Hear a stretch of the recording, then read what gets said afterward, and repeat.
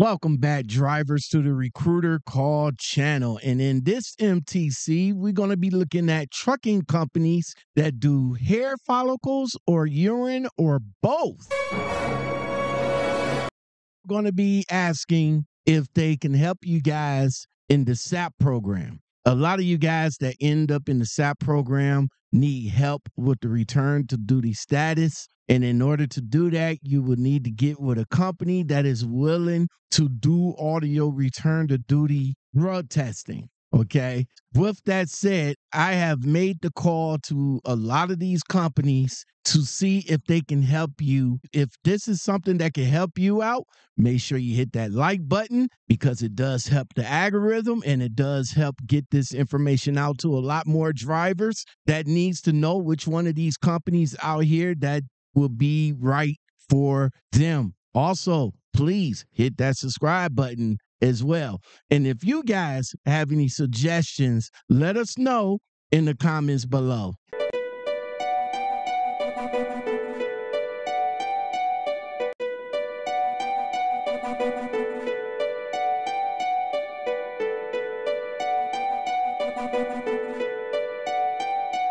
Averitt Express. Do you guys accept SAP drivers?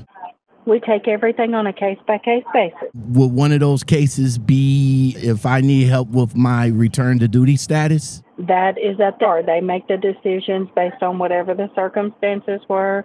Um, and once that approval has been given, then your application would be sent on to the recruiting department. How much experience do you guys require? Uh, for most of our positions, at least six months. Onboarding for the drug screening process. Do you guys do urine or hair follicle or both? We are told to have the applicant prepared to do either or. What what would be my CPM coming in as a as a new driver with with about a year and a half experience? It would depend on what position you were um, hired in for. Can you give me a ballpark? Right now, the only thing I have out of Ohio is in Cincinnati, and it is what we call our production and event truck driver. That is over the road going on tour with some type of production or event, like a concert tour. And you would need to have at least six months of prior experience in the entertainment industry doing some type of hauling for a tour. Um, and while on tour, you would receive $1,800 a week.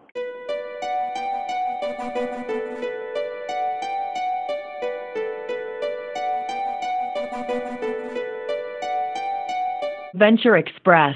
How much experience do you guys require? Uh, 12 months of experience pulling a 53 foot trailer drive in within the last three years. Doing onboarding process, the drug screening, do you guys do hair follicles or urine or both? Both.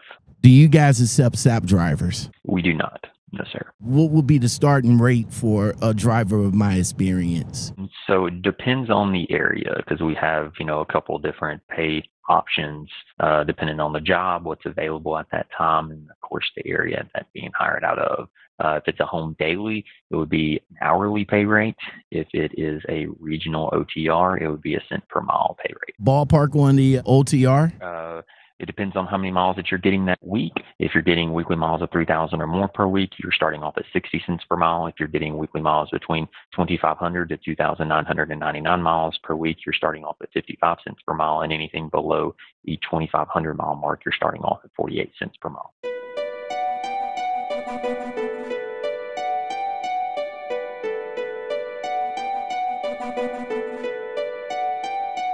We actually require two years experience. Yeah, well, our insurance requires that two years, so we would have to have that two years experience. Do you guys accept SAP drivers? We do not. Onboarding for drug screening process, do you guys do urine or hair follicles or both? We do urine.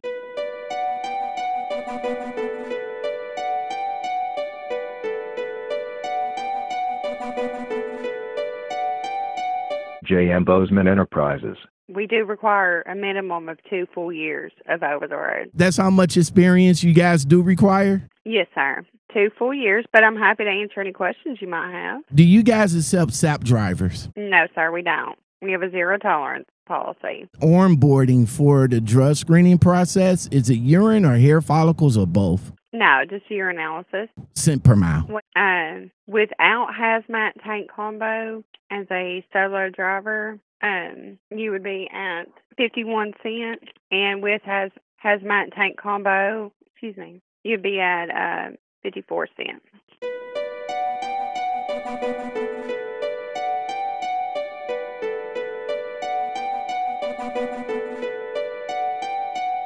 Recruiting. How much experience do you guys require? One year of verifiable over the road driving. I did go to the website, but the website is providing me information that you guys put on there in 2021. Is the information correct for 2024? I believe so. Um, actually, you know, actually, yes. I just wanted to clarify that because some things change within the three year period.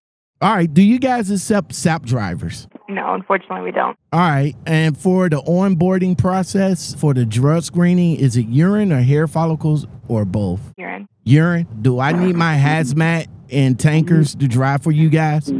Yes, you do. Uh, because of the type of freight that we are delivering, yes, it is. That is required. What would be the mileage pay coming in? Okay, so actually, right now we have two different uh, pay plans. Um, in about a month or so, that's actually about to go up on both ends. But right now, you can either do a guaranteed of seventeen hundred dollars a week. Uh, you won't get any bonuses on top of that. You just get the guaranteed seventeen hundred. The other, and which is kind of the one that we, if our drivers have you know, quite a few years of experience is the one that we more recommend is a thirteen hundred dollars a week guaranteed, but then you get the cents per mile bonus on top of that. So it could range you anywhere from seventeen all the way up to twenty four hundred a week.